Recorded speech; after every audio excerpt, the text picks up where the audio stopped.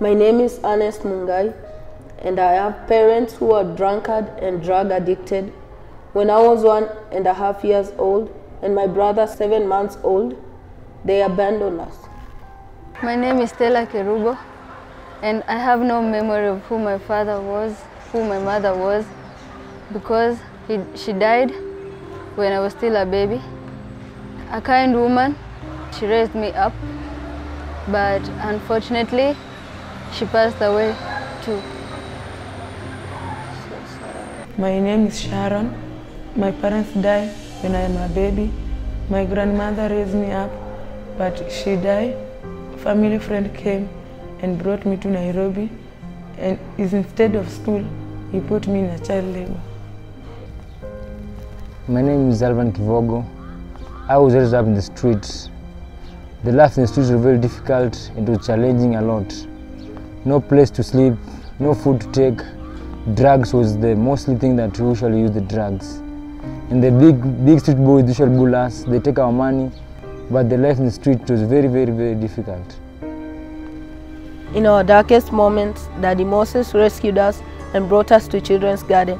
For the past 16 years, I've been living here and grown up, provided with education. Now I'm going to sit for my national exam in Form 4, and I hope for a better future. I'm grateful for the best parents that I've had here, the Moses and Mom Sylvia. Uh, for the last 14 years I've been here, I went through my primary education and now I'm in secondary finishing. Uh, next week I'll be doing my exam and I'm really happy for that. And my big dream is to become a professional footballer, which I'm happy for it and I know one day it will come true. Thank you, Daddy Moses, for raising me in Children's Garden, and I am happy.